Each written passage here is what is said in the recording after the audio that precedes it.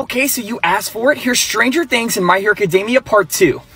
Okay, so who's gonna be Eddie Munson? You know, we stan Eddie. Chrissy, wake up! Deku, wake up! I don't like that. Okay, who's Robin?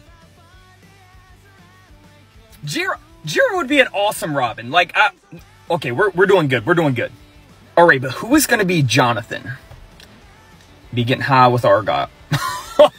I mean, his eyes are already kind of red. Wait, that's accurate. All right, but who's going to be Nancy then? no! Wait, hold on. Jonathan? No! No! All right, so who's going to be the best boy? Who's going to be Argyle? Kirishima, no way. That's so manly. Here's your pizza. Okay, last but not least, who's Hopper? Keep the door. Sue!